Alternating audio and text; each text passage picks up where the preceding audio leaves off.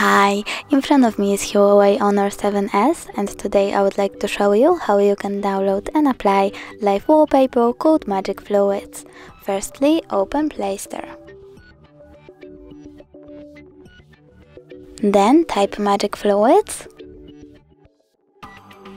and download this app from this developer.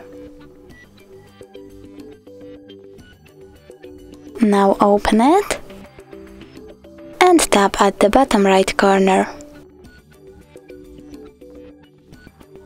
Choose Settings. Click I accept. And over here you can customize your wallpaper however you want.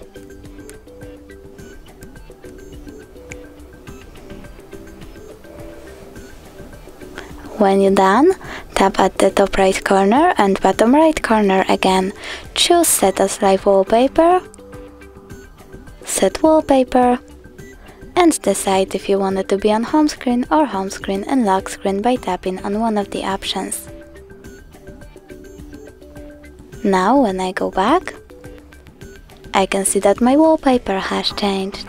Thanks so much for watching, if you enjoyed this video, don't forget to leave a like, comment and subscribe. Bye!